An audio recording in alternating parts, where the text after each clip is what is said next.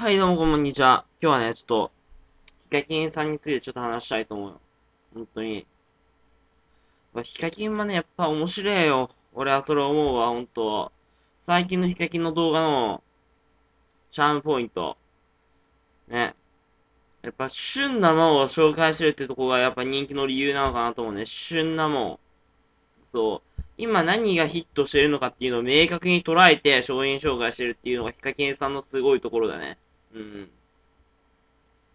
そう、アンチはね、文句はたらたら言うんだけど、なんか、なんかね、動画つまんないよね。一言叩いてるうちはやっぱ面白くないと思う。やっぱ、やっぱ再生されてる人から吸収するものがでかいと思うんだよね、やっぱり。盗むみたいな。やっぱ盗みから全てが始まると思ってんだよね、俺は。あ、やっぱ盗み。やっぱ盗みからね、全てが始まるんでみんなね、チェックしていただけたらなと思うよ、盗みから。そう、やっぱ盗みからね、全てが始まるんで。うん。だってさ、売れてる人ももうやっぱ盗まないと何も始まらない、始まらないわけじゃん。そう。ね、悪口言ってて何か始まるんだったらいいんだけど、何も始まらないよねって話だよね。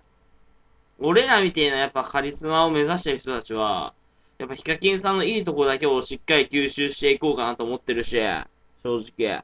な、俺らみたいな、ね、YouTuber は。うん。ただね、ヒカキンの悪口を言うだけではなくてね、俺はいいとこをしっかり吸収しようとしている。そこがちょっとアンチとは違うところなのかなと思ってるよね、やっぱり。やっぱいいとこを集中。やっぱりね、吸収しようとしている。さすが俺だと思ってる。